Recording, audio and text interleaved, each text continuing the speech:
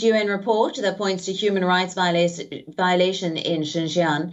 Reactions are pouring in from human rights organizations around the world. Listen in. And this report really lays bare the scale, the severity of human rights abuses that are taking place in Xinjiang.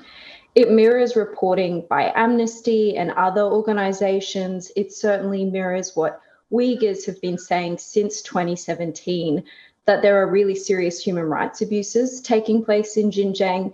And it concludes that what's taking place may constitute crimes against humanity, which is also what Amnesty found. Well, if you look at the report, I think, in fairness, I think the report was still very strong, considering that there were weeks and months of Chinese pressure to possibly change the content, alter it, to water it down.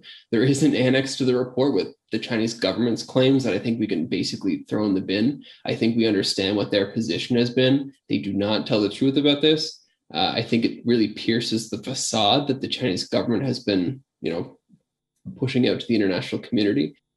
We are now available in your country. Download the app now. Get all the news on the move.